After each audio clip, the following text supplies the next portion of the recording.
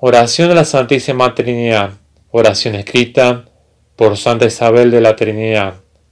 Dios mío, Trinidad que adoro, ayúdame a olvidarme enteramente de mí mismo, para establecerme en ti inmóvil y apacible, como si mi alma estuviera ya en la eternidad.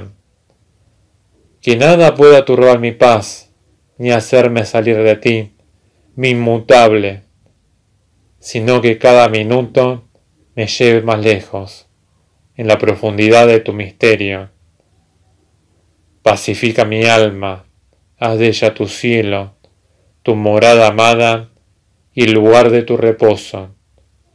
Que yo no te deje jamás solo en ella, sino que yo esté allí enteramente, totalmente despierto en mi fe, en adoración, entregado sin reservas actuación creadora.